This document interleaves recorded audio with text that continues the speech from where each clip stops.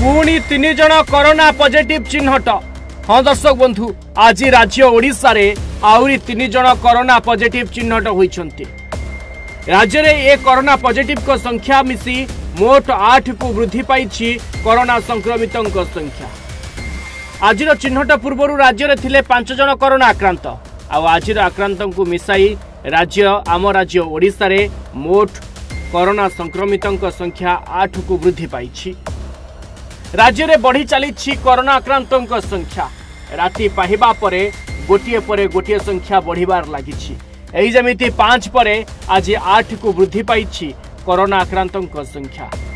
ଦଶବନ୍ଧୁ ଏଠି କହି ରଖିବା ପାଇଁ ଚାହିଁବୁ ପୂର୍ବରୁ ପାଞ୍ଚ ଜଣ ପଜିଟିଭ୍ ଚିହ୍ନଟ କରାଯାଇଥିବା ବେଳେ ଆଜି ଆଉ ତିନି ଜଣ ସଂକ୍ରମିତଙ୍କୁ ଚିହ୍ନଟ କରାଯାଇଛି। ଦେଶରେ ମଧ୍ୟ ବଢ଼ି ଚାଲିଛି କରୋନା ପଜିଟିଭ୍ର ସଂଖ୍ୟା। ଚବିଶ ଘଣ୍ଟାରେ ଦେଶର ଚିହ୍ନଟ ହୋଇଛନ୍ତି ଆଉ ପାଞ୍ଚଶହ ଅଣତିରିଶ ନୂଆ କରୋନା ସଂକ୍ରମିତ।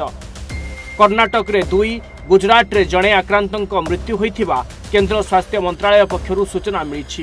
ହଁ ଦର୍ଶକ ବନ୍ଧୁ ଏବେ ବି କରୋନା ଜୀବନ ନେଉଛି। କର୍ଣ୍ଣାଟକରେ ଦୁଇ ଜଣଙ୍କ ଜୀବନ ନେଇଥିବା ବେଳେ ଗୁଜରାଟରେ ଜଣେ ଆକ୍ରାନ୍ତଙ୍କ ଜୀବନ ନେଇଛି କରୋନା ଯାହା କେନ୍ଦ୍ର ସ୍ୱାସ୍ଥ୍ୟ ମନ୍ତ୍ରାଳୟ ପକ୍ଷରୁ ସୂଚନା ମିଳିଛି। ସଂକ୍ରମିତମାନଙ୍କ ମଧ୍ୟରୁ ବର୍ତ୍ତମାନ ସୁଦ୍ଧା ଜେଏନ୍ ଡଟ୍ ୱାନ୍ ଭ୍ୟାରିଏଣ୍ଟ ଶହେ ନଅଟି ମାମଲା ଚିହ୍ନଟ ହୋଇଛି। ହଁ ଜେଏନ୍ ଡଟ୍ ୱାନ୍ ଯାହା ନୂଆ ଭ୍ୟାରିଏଣ୍ଟ କରୋନା ଭାଇରସର। ବର୍ତ୍ତମାନ ସୁଦ୍ଧା ସେହି ଭାଇରସରେ ଶହେ ନଅଟି ମାମଲା ସାମ୍ନାକୁ ଆସିଛି। ଯେଉଁମାନଙ୍କ ମଧ୍ୟରୁ ଗୁଜରାଟରେ ଛତିଶ ଜଣ ରହିଥିବା ବେଳେ କର୍ଣ୍ଣାଟକରେ ଚଉତିରିଶ ଗୋଆରେ ଚଉଦ କେରଳ ଓ ମହାରାଷ୍ଟ୍ରରେ ରହିଛନ୍ତି ଛଅ ଜଣ। ସେହିପରି ରାଜସ୍ଥାନ ଓ ତାମିଲନାଡୁରେ ଚାରି ଜଣ ଲେଖାଏଁ ଏବଂ ତେଲେଙ୍ଗାନାରୁ ଦୁଇ ଜଣ ଆକ୍ରାନ୍ତ ଚିହ୍ନଟ ହୋଇଛନ୍ତି।